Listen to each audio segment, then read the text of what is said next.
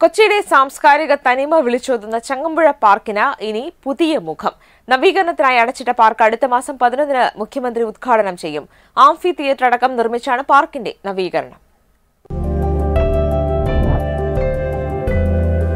കവി ചങ്ങമ്പുഴ കൃഷ്ണപിള്ളയുടെ ഓർമ്മകളിൽ തലയുയർത്തി നിൽക്കുന്ന എറണാകുളത്തെ ചങ്ങമ്പുഴ പാർക്ക് പുതുപുത്തനായി അണിഞ്ഞൊരുങ്ങുന്നു. ദിവസേന സാഹിത്യ സാംസ്കാരിക പരിപാടികൾ അരങ്ങേറുന്ന പാർക്ക് മുഖം മിനുക്കുമ്പോൾ മാറ്റങ്ങൾ അനവധി.